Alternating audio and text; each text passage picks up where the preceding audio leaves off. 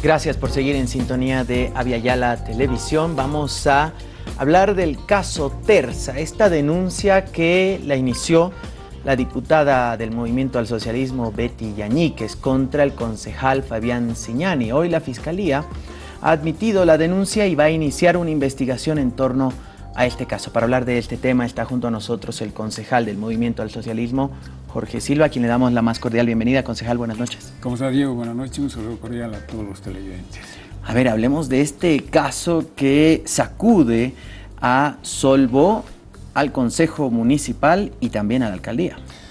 Sí, Diego, yo creo que es importante eh, retroceder un poco al momento en el cual la ciudad de La Paz se vio saturada por el tema de la basura, basura en más de 200 puntos en nuestra ciudad, producto de un desastre que sufrió el relleno de Alpacoma.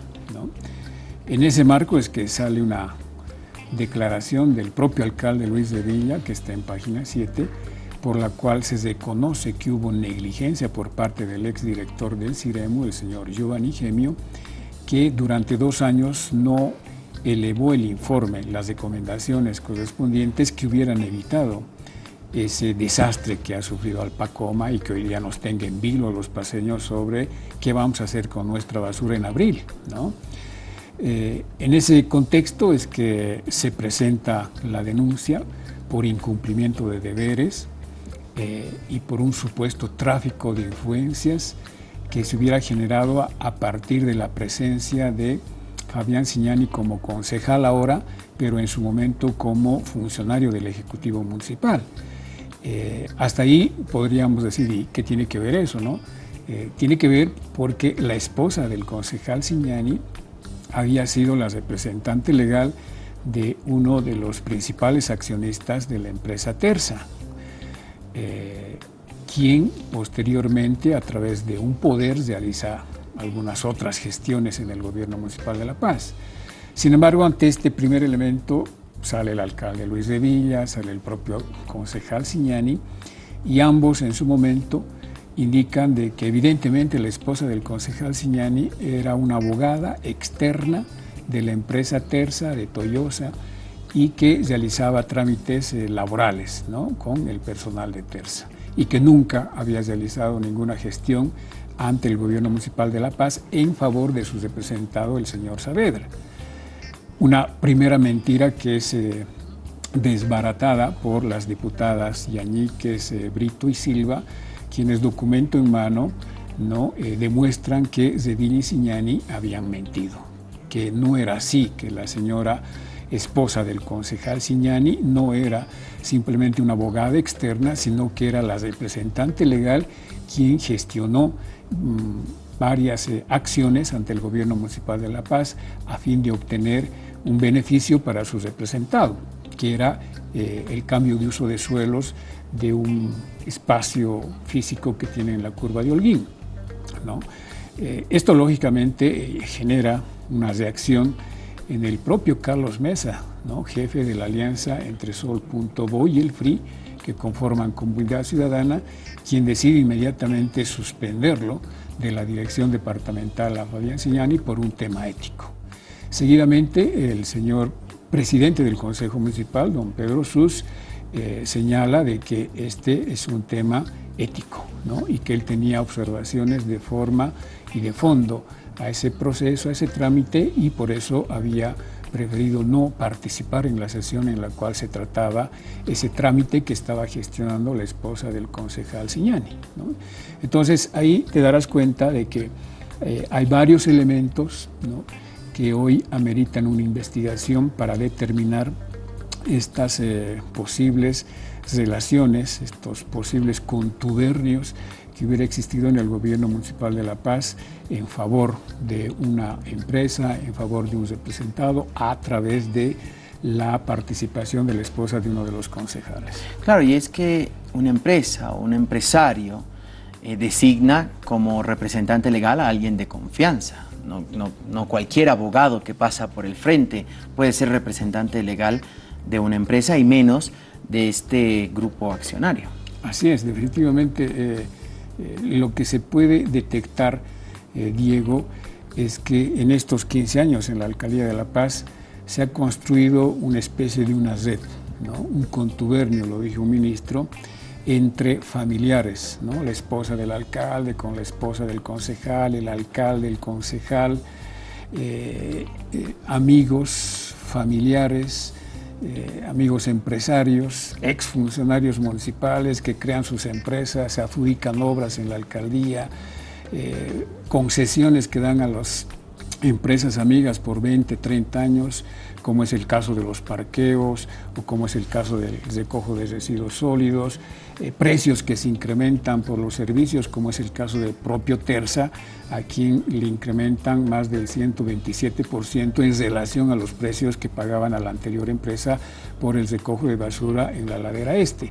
Sí, ese tipo de acciones lógicamente están ceñidas pues, por eh, la sociedad que, que, no la acepta, que la cuestiona, va en contra del código de ética, va en contra de las normas vigentes y eh, provoca pues que se presenten estas denuncias, se emita la comisión de ética y se inicien procesos de investigación porque al parecer estos contubernios, estas redes que se han creado estarían beneficiando a ciertos actores en desmedro de los intereses paseños.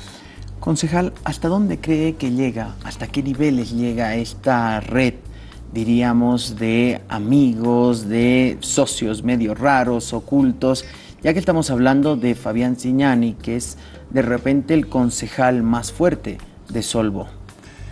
Mire, eh, al, principio creíamos que lo que decía Ciñani Sevilla era, era verdad, ¿no? que la señora esposa del concejal Signani, simplemente era una abogada externa.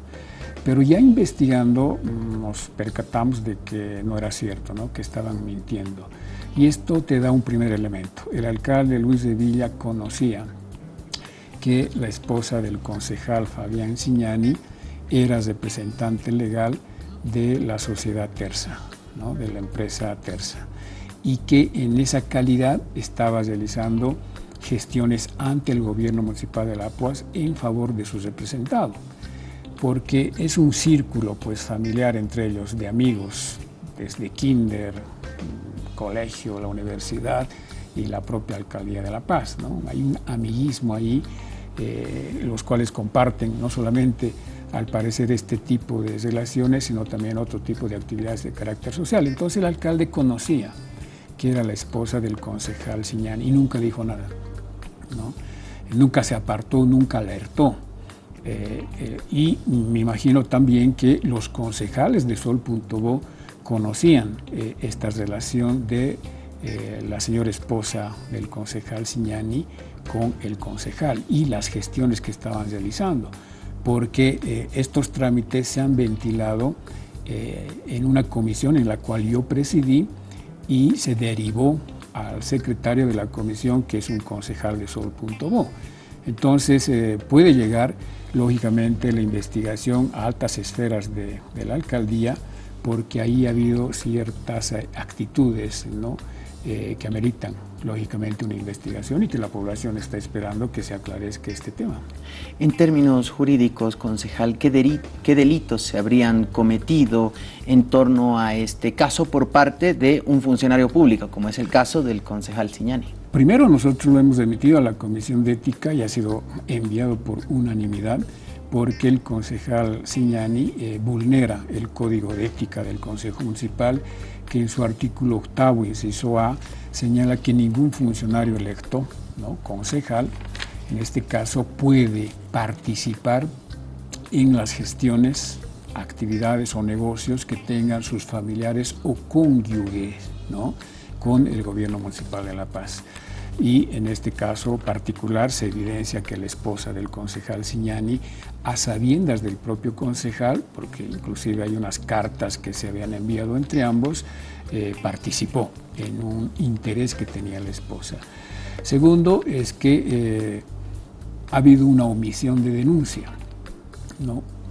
Ni el alcalde nos ha alertado, mucho menos eh, el concejal Siñani, sobre esta relación que tenía o sobre este interés que tenía su esposa en un trámite específico o en dos trámites específicos o no sabemos cuántos más. Tercero, se puede determinar o se puede eh, concluir que ha habido un tráfico de influencias eh, entre el alcalde, el concejal, la esposa, el representado. Eh, que lógicamente amerita una investigación. Y, por supuesto, un incumplimiento de deberes ¿no? por parte de estos propios actores que deberían haber hecho conocer en su momento esta irregular situación que se presentó. ¿Qué sanciones puede otorgar la Comisión de Ética del Consejo Municipal eh, en torno a eh, su reglamento? Eh, tres tipos de sanción. Una sanción administrativa, una sanción económica, que es hasta el 20% de sus saberes, y la remisión de obrados ante el Ministerio Público si es que se demuestra que existen indicios de responsabilidad penal, como en este caso al parecer podría derivar, porque tenemos toda la documentación y todos los elementos para probar de que evidentemente ha habido pues una participación de la esposa sabiendo de, eh, a sabiendas del concejal Signani que ha derivado en un resultado favorable a su representado. Entonces, eh, vamos a ver cuál va a ser el desenvolvimiento de la Comisión de Ética y cuál va a ser el informe que va a poner a consideración del Pleno del Consejo Municipal, pero puede concluir en uno de estos 13 aspectos sancionatorios. Ahora, la Fiscalía ha admitido esta denuncia, va a iniciar una investigación. ¿Qué implica esto para el concejal Siñani? ¿Tendría que pedir licencia para defenderse ante los estrados judiciales o la norma no lo exige?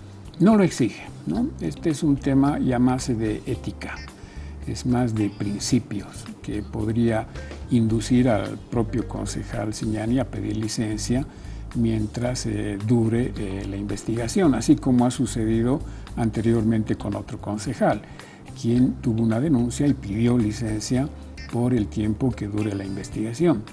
Eh, por un tema de ética, por un tema de, respeto, pero fundamentalmente por un principio de no obstaculizar la investigación y dejar que sean las instancias correspondientes las que lleven adelante esta investigación. Por lo tanto, se va a esperar a que el propio concejal Signani asuma una posición, pero la norma no le obliga a pedir licencia ni mucho menos a suspenderlo mientras no se pruebe lo contrario, porque exige en el país el principio constitucional de que todos somos inocentes mientras no se nos pruebe lo contrario.